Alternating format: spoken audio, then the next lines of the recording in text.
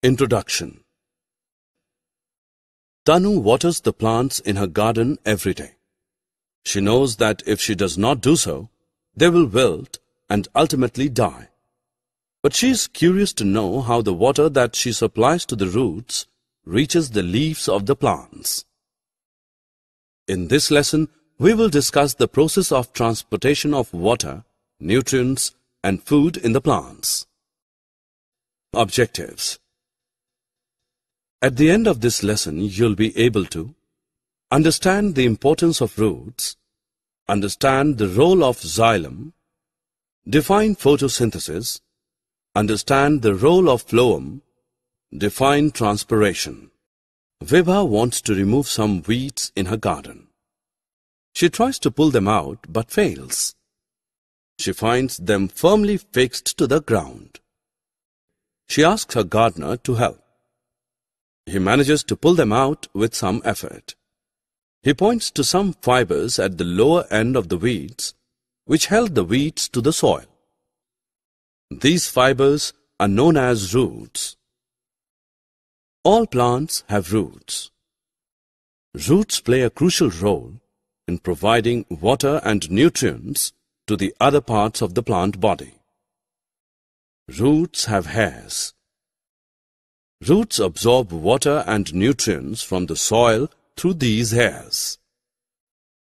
The more the root has, the greater the absorption. A network of tube-like vessels runs through the entire body of a plant. This system of vessels is known as xylem.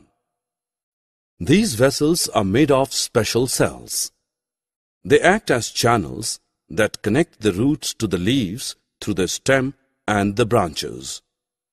Xylem transports water and dissolved nutrients absorbed from soil to the different parts of the plant through this network of vessels.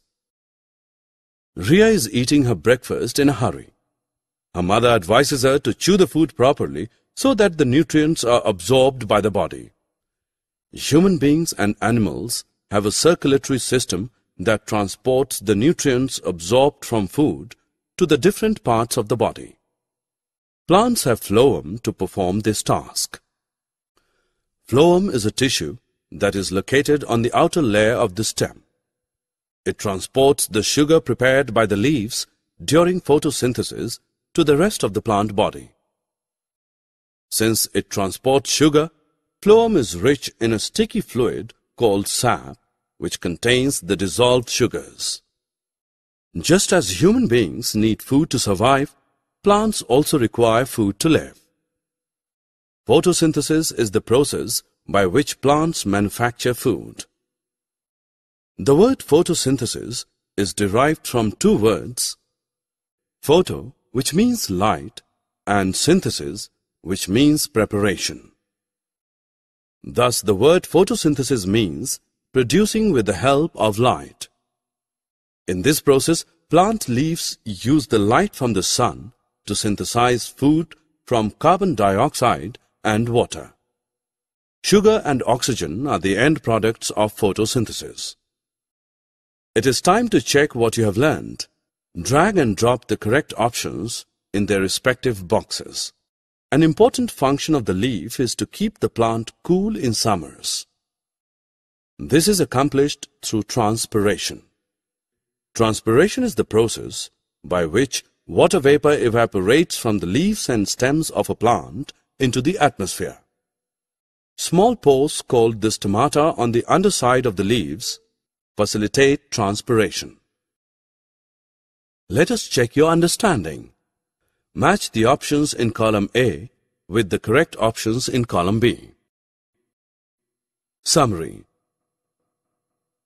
Let us summarize what we have learned. Roots absorb water and nutrients from the soil through root hairs. The more the root hairs, the greater the absorption. Xylem is a system of vessels that transport water and dissolved nutrients from soil to the entire plant body.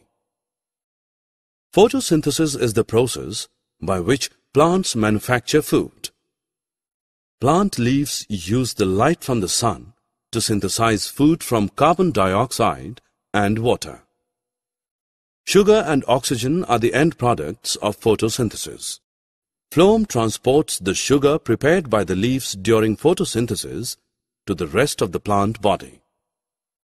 Phloem is rich in a sticky fluid called sap, which contains the dissolved sugars. Transpiration is the process by which water vapor evaporates from the leaves and stems of a plant into the atmosphere.